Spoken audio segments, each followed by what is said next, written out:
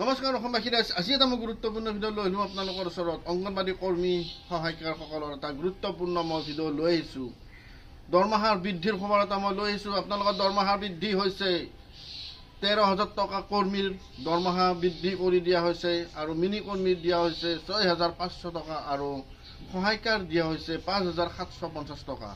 খুবেই এটা good news খুবেই এটা ভাল নিউজ হয় সকলোৰে এতিয়া দৰমহা বৃদ্ধি হ'ব লাগে। যে অকলে অকলে বেলেগ বেলেগ ৰাজ্যতে যে দৰমহা বৃদ্ধি হ'ব লাগে সেইটো নহয়। কিন্তু সকলো ৰাজ্যতে দৰমহাটো সমানে বৃদ্ধি হ'ব লাগে। সমানে নহ'লেও কমচে কম দৰমহাটো বৃদ্ধি হ'ব লাগে য'তে যেনেকুৱা হওক কিন্তু দৰমহাটো বৃদ্ধি হ'ব লাগে। বা অলপ হ'লেও বৃদ্ধি হ'ব লাগে যাতে ঘৰখন ভালকৈ চলিব পাৰে। মই আজি এটা গুৰুত্বপূৰ্ণ এই ভিডিঅ' লৈ আহিছোঁ। অন্ধ্ৰপ্ৰদেশত এতিয়া সহায়িকা কৰ্মীসকলৰ আৰু মিনি কৰ্মীসকলৰ দৰমহা বৃদ্ধি কৰি দিয়া হৈছে। লগতে সিহঁতৰ ৰিটায়াৰমেণ্টৰ পাঁচ লাখ টকালৈকেও বৃদ্ধি হৈছে।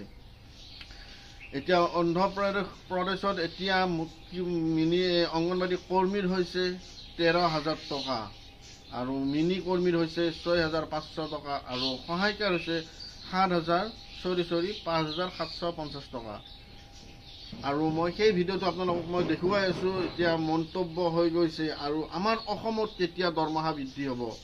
আমাৰ অসমত তাৰমানে কি বৃদ্ধি নহ'বই নেকি নে অসমত কোনো মাত মাতা মানুহ নাই অসমত কোনো গুৰুত্বই নাই অসমখন ইমানেই পিছপৰা ইমানেই পিছপৰা দৰমহাৰ ক্ষেত্ৰতো পিছপৰা চব ক্ষেত্ৰতে পিছপৰা মই আপোনালোকক কোৱাৰ আগতে মই ভিডিঅ'টো দেখুৱাব বিচাৰিছোঁ এবাৰ আপোনালোকে ভিডিঅ'টো চাই লোৱা सहायता को भी एक लाख रुपया दिया जाए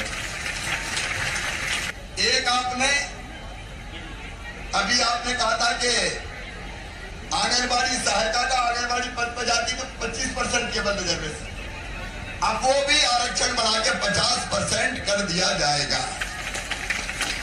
आंगनबाड़ी कार्यकर्ता और आंगनबाड़ी सहायिका, इनका पाँच लाख रुपए का स्वास्थ्य और दुर्घटना बीमा करवाया जाएगा, ताकि अगर कभी कोई संकट में आ जाए तो परिवार कम से कम तबाह और बर्बाद ना हो आंगनबाड़ी कार्यकर्ताओं का जो मानदेय है वो कुल मिला के एक हज़ार रुपया लाडली बहना का अपने स्थान पे होगा लेकिन एक मुद्र बढ़ा के ये तेरह हज़ार रुपया कर दिया जाएगा और उसी और उसी भारत माता की।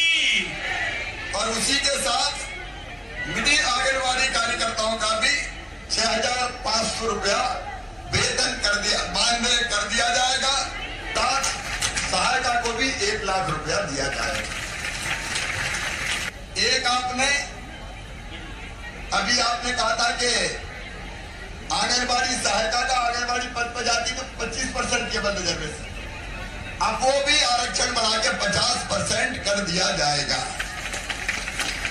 आंगनबाड़ी कार्यकर्ता और आंगनबाड़ी सहायिका, इनका पाँच लाख रुपए का स्वास्थ्य और दुर्घटना बीमा करवाया जाएगा, ताकि अगर कभी कोई संकट में आ जाए कम से कम तबाह और बर्बाद ना हो। आंगनबाड़ी कार्यकर्ताओं का जो मानदेय है वो कुल मिला के एक हज़ार रुपया लाडली बहना का अपने स्थान पे होगा लेकिन एक मुद्र बढ़ा के ये तेरह हज़ार रुपया कर दिया जाएगा और उसी और उसी भारत माता की। और उसी के साथ